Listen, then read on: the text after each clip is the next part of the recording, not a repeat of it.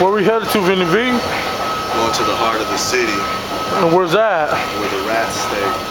Where the rats stay. We're going to Deep Tunnel. Deep tunnel. Way down there? I used to live down here back in the day. What you used to do? Free artwork. The same illegal artwork that got you into, should I say, trouble?